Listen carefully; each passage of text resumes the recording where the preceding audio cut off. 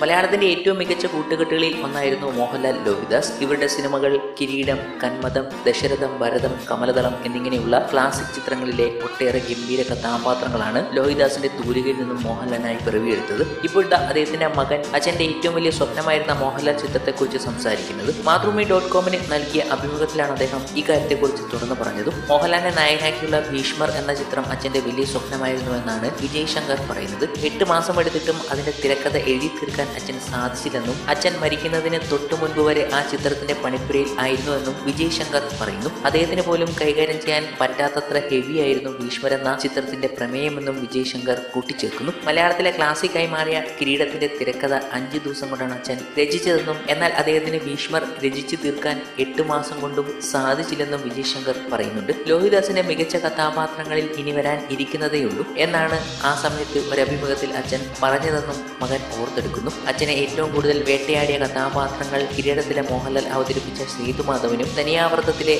മമ്മൂട്ടി അവതരിപ്പിച്ച ബാലൻ മാഷുമാണെന്നും വിജയ് ശങ്കർ വെളിപ്പെടുത്തി. അച്ഛൻ ഇന്നും ജീവിച്ചിരുന്നു എങ്കിൽ മനോഹരമായ ഒരുപാട് കഥാപാത്രങ്ങൾ ജന്മം നൽകുമായിരുന്നുവെന്നും വിജയ് ശങ്കർ പറയുന്നുണ്ട്. പുതിയ വാർത്തകൾക്കും വിശേഷങ്ങൾക്കുമായി മലയാളി അണ്ടർ സബ്സ്ക്രൈബ് ചെയ്യൂ. കൂടിയുള്ള ബെൽ ബട്ടൺ കൂടെ ക്ലിക്ക് ചെയ്യുമ്പോൾ വാർത്തകൾ അതിവേഗത്തിൽ നോട്ടിഫിക്കേഷനായി നിങ്ങൾക്ക് ലഭിക്കുന്നതാണ്.